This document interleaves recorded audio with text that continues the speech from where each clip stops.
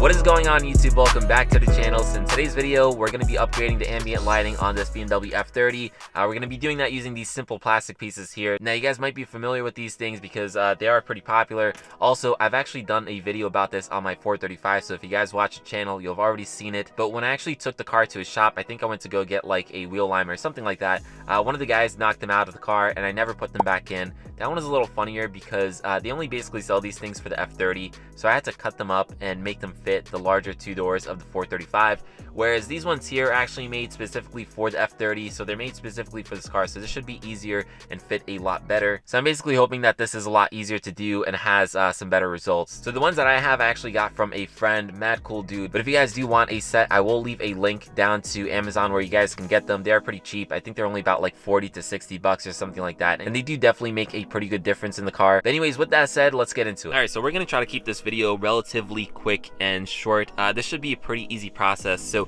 when you guys get these pieces, if you do get them, they're gonna come in four separate pieces. Two of them are gonna be longer than the other two. So you're basically gonna have two like this length here and then to the slightly longer ones. So the ones that are longer go to the front doors, whereas the ones that are shorter, of course, are going to go to the rear doors. So if you guys know already, of course, these cars do have some ambient lighting that goes uh, throughout, basically underneath over here. It does look good, but it is very subtle. So what these plastic pieces are basically going to do is kind of capture the light of the ambient lighting and sort of like enhance it. So uh, it's really just gonna kind of help like reflect the light of the ambient lighting and just make it look brighter. Pretty simple, honestly. Obviously, there's no like really technical things going on here. We're just kind of stuffing these plastic pieces into the ambient lighting, which I'll show you guys in a second. But yeah, so to do this, you really don't need any tools. You just need these plastic pieces. Um, I'm obviously doing it at night so I can better show you guys like the before and after. But yeah, otherwise guys, I think we can just really get into it. So what I'm going to do is I'm going to put in uh, just one side on maybe the passenger side, uh, the front, and then uh, the rear as well. And I'll leave the driver's side over here, just OEM, so that way I can turn on the car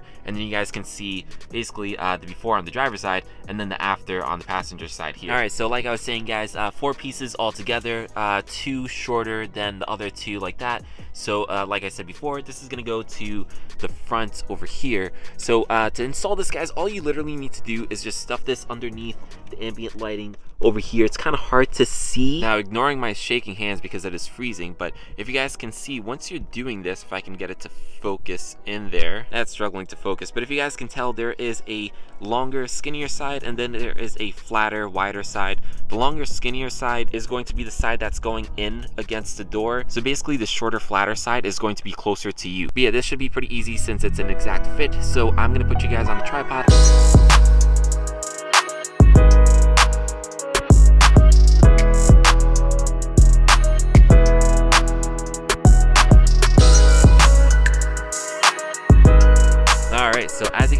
Was as simple as that. Literally just pushing this thing into the ambient lighting over here. Literally no tools required. I will say though, uh, just make sure that once you're doing this, make sure that the edge that you start on is all the way in because this thing is a very tight fit. So I don't know if you guys were able to see on that last clip, but I basically put it in and I realized it wasn't going in on this side because it was kind of overlapping. I basically didn't push it in all the way on that side first. But yeah, so that was the front door. Let me show you guys the rear door really quickly. Uh, again, pretty much same thing. So with that said, let's turn on the car and I can show you guys sort of like the before and after. Again, the passenger side being the after and the driver's side being the before. All right, so the car is on. I'm actually sitting in the back seat so I can get a better look at the, the front side so I can kind of show you guys the before and after. But uh, let me show you guys. So uh, this, of course, is the driver's side. That is the before. I do not have the plastic piece in it right now. And then this over here is the passenger side, which as you guys saw, I put the plastic piece in. So now I don't know how much you can actually tell on camera, but in person, there's definitely a difference. And I'll say the main difference is not just only brightness, is also, if you guys can tell, this one now looks like there's an actual light beam, whereas over here it just kind of looks like a light is kind of shining down. Like this definitely does not look bad. It is nice ambient lighting and it's nice that a car from 2017 has it, but this definitely makes it look better. Uh, it looks makes it look a little more pronounced and more defined, if that makes sense. It kind of reminds me of the G generation ambient lighting where they have like a light beam kind of going across and then they have the other light that kind of just goes underneath it. If you guys are familiar with the G chassis BMWs, you'll know what I'm talking about. But overall, this definitely looks a lot better. It just makes the ambient lighting look a little more defined, which is really nice. So that's the front, as you guys can see. Let me show you the rear side. So this, of course, is the side that I put it on. And then this side over here is where I don't have it on. So again, same thing. This kind of looks like a light shining down. Whereas this one over here looks like a light beam. Again, like I was saying before for the front, it looks a little more defined. So pretty good difference, guys. Again, for a simple plastic piece that's relatively cheap, uh, it does make a difference for sure. Now, am I saying that this is going to make your F generation BMW look like it has G generation ambient lighting?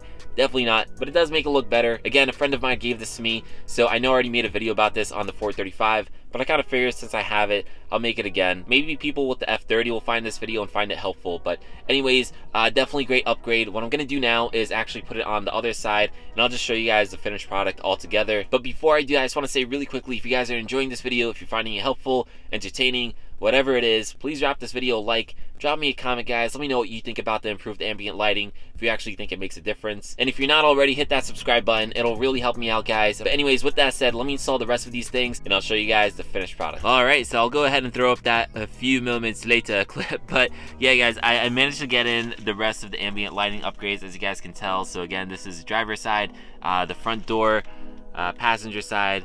Now they look similar. And then of course the driver's side rear door as well. And then just for comparison here is the passenger side. Something I did realize after I installed this is I forgot to show you guys the other colors. So if you're familiar with these cars, you'll know it comes with orange as well as white. I forget about the white because honestly, I always leave it in orange. The white just always looks out of place because everything else is orange. So I completely forgot about it. But what I will do is actually just switch it right now to white so you guys can at least see what the improved ambient lighting looks like when it's in white. So let me just do that really quickly. And here it is, the white ambient lighting. So like I was saying before, guys, I think the white always looks funny. I mean, it looks good with this improved ambient lighting. Like it definitely looks brighter, which is really nice. So even just looking at this over here, all the buttons, all the gauges, everything's in orange and then you just have this white ambient lighting which I mean hey if that's your thing I'm not gonna knock you but but I personally like to have it in orange just so everything is consistent and it all matches. But still though it looks really good with the improved ambient lighting. It's funny because now this center console thing over here uh, this little thing over here actually looks dim in comparison to the other ones. Hopefully the camera's picking up well guys but honestly in person this thing looks really really good. So again this looks great. Such a simple mod but I think it makes a big difference especially if you guys are like me and you guys like the experience of an interior feeling a little more fancy and refined, especially in a car like a BMW. So if you guys do want these, I will leave a link down in the description below. But with that said, that pretty much wraps up the video. So like I said before, guys, if you can please drop this video a like, a comment, and hit that subscribe button if you haven't already. It'll really help me out. I'm trying to grow this channel. So doing that will basically tell YouTube to kind of spread this video to more people does helping me grow. It helped me out make more videos for you guys and build these cars and all that type of stuff. But with that said, this video is done and I'll catch you guys in the next one. Peace.